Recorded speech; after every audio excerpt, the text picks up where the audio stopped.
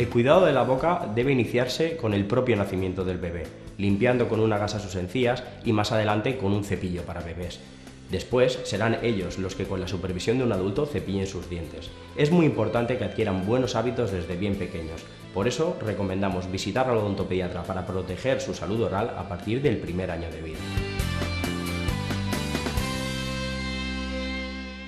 L'Arxiu Municipal de Sant Andreu de la Barca ha rebut una donació de documents datats aproximadament entre l'any 1922 i l'any 1946. Tota aquesta donació ens ve de les mans d'Anna Maria Oriol, que és la neboda de la Catalina Montcanut, que va ser mestra de Sant Andreu entre l'any 2021 fins l'any 46.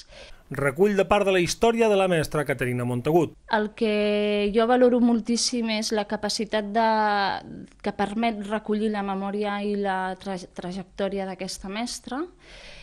Va ser una mestra molt important a Sant Andreu, hi ha moltíssima gent gran que va passar per les seves mans. Pensem que si va estar aquí des de l'any 2021 fins al 46 són molts anys de docència.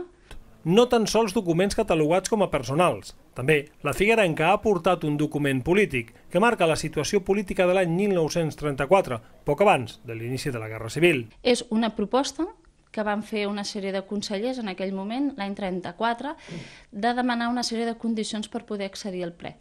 Però hem de pensar que l'any 34 era un moment molt, molt viu políticament i és curiós, no?, les condicions en les que reflecteix el document. I clar, això no estem parlant d'un document propi de la mestra, sinó és un document, diria, de transcendència política i en un moment polític prou paliagut al cap de res va esclatar la Guerra Civil, que ens explica eh, que a Sant Andreu aquestes vivències polítiques intenses també hi havien arribat.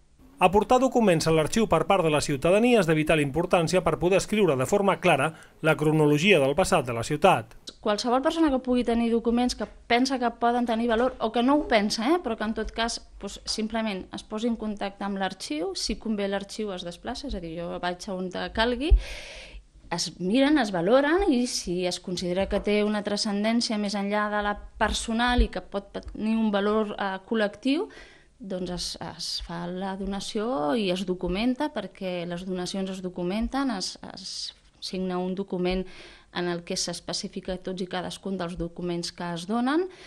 Uns documents, la totalitat de l'arxiu que hores d'ara s'està treballant per poder digitalitzar-los i que la ciutadania pugui accedir i també aportar informació de tots i cadascun d'aquests documents.